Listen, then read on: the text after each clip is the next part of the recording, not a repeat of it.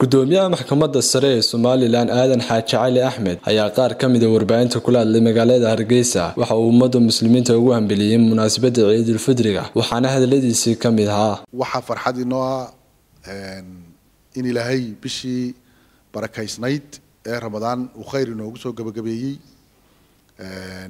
Ayaamihii farxadda lahaa ee ciidka maanta ugu horeyso ciid alfidridii aynu maanta ku jirno markaa marka ugu horeysa waxaan tahniyadda u dirayaa dhammaan muslimiinta meel kastoy joogaan adduunyada. Waxaan tahniyad gaara u dirayaa dhammaan muwaadiniinta reer somaliland.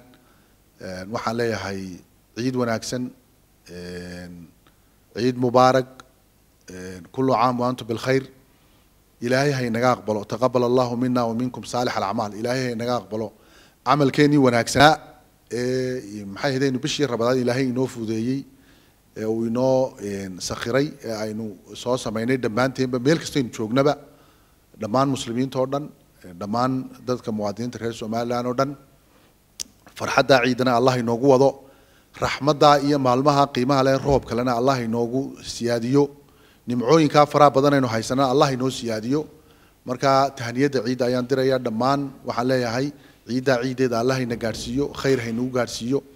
Caafimaad qab allah haynagu gaadhsiiyo bashbash iyo barwaaqo allah inagu gaadhsiiyo horumar iyo midnimo iyo wadajir allah inagu gaadhsiiyo waxa kaloo aan halkan leeyahay ilaah inta caafimaad qabta ee caafimaadka haysata allah siyaadiyo.